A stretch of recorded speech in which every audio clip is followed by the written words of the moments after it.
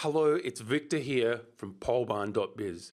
Welcome to the first of 12 video tutorials on how to build your own pole barn. The How to Build Your Own Pole Barn tutorial series has been designed as a practical, step-by-step, hands-on guide for do-it-yourselfers for planning and building your own pole barn.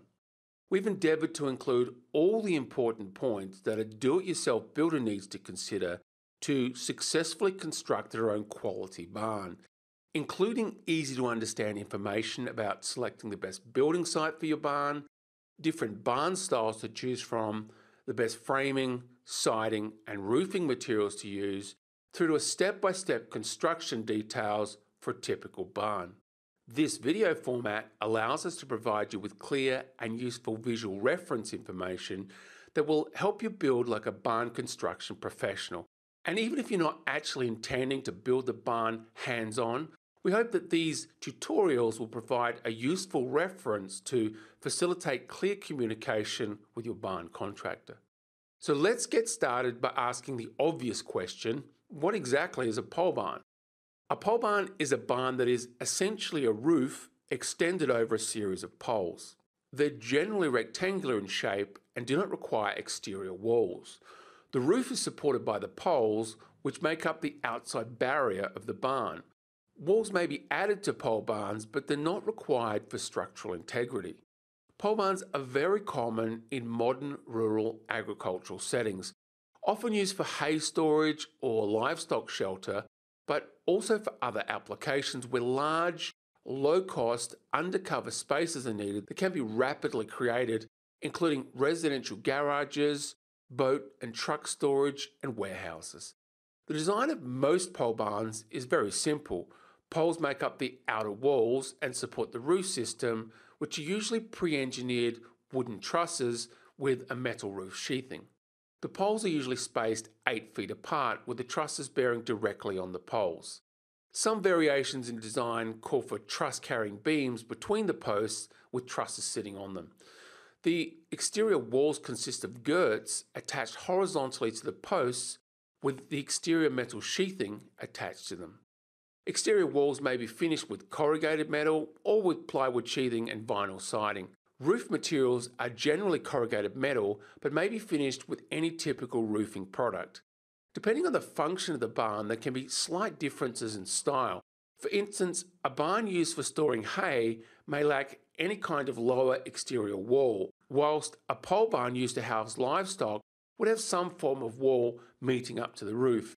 But we're going to be discussing this in more detail in tutorial number three. The history of pole barns. Although there's certainly nothing new about the post frame method of construction, it's generally accepted that the term pole barn became popular in the United States in the 1930s Depression era when using what were literally old telephone and power poles embedded in the ground and steel roofing and siding, the amount of framing, siding, and foundation materials needed to construct a barn were dramatically reduced. After World War II, the poles were replaced with solid sawn posts, usually 4x6 inch or 6x6 inch. The posts were chemically treated to resist decay, which greatly increased the useful life of a building. In the 1950s and the 1960s, metal plate connected wood trusses were developed, dramatically increasing roof spans, eventually up to around 100 feet. That's around about 30 metres. In the 1970s and 1980s, solid sawn posts were replaced with laminated 2x6 and 2x8 posts, allowing for much taller buildings. Since the 1980s, pole barns have been adapted for a variety of uses, including residential garages, retail stores, light commercial buildings, professional offices, and even homes. Whilst corrugated metal is still very common, other exteriors such as vinyl siding, stucco, and cement board are also used. The advantages and disadvantages of the pole construction method. There are several alternative methods of barn construction, so why use the pole barn type of construction method?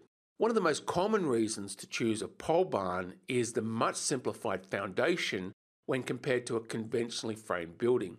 Many pole barns utilize a bare earth floor, and barns without a concrete floor are significantly less expensive to build. An inexpensive upgrade to a bare earth floor is to simply spread gravel or road based material inside the finished barn. And the poles will provide a convenient fixing point for adding perimeter retaining boards for any loose flooring material. Even if you decide to go with a wooden or concrete floor system, a pole barn can still be a good structural choice. In addition to the reduced site preparation, the amount of skilled construction labour necessary to build a pole barn is generally less than that of other construction methods. Other cost savings can come from using metal siding and roofing that's commonly used on pole barns today.